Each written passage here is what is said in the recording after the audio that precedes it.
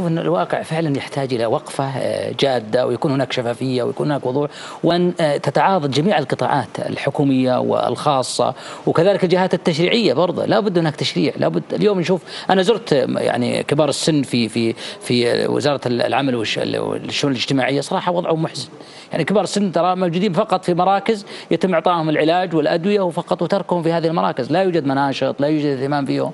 كذلك إسرتهم يجب أن توعى الإسر إنه ما هو معقول تنقل الكبير السن ينقل للمراكز الايواء أنا أعرف إن عندنا يمكن خمس واحات ايواء موجودة في, الرياض وحدها. هذه المراكز صح فيها مراكز رياضية مثلا وفيها تنشيط لهم لكنها برضه تحتاج إن كلمة كبار سن آه، مقلقة صراحة. يجب إنها تعطى مسمى مثل ما ذكرت قبل اسم آه، يساعد كبير السن بحيث إنه مثل مركز الملك سلمان آه، الآن للاجتماعي لاحظ إنه مركز اجتماعي. تشوف في سباحه تشوف في رياضه تشوف كبار السن ليسوا فقط حتى الآن كبار السن من لأنهم خبراء ليسوا كبار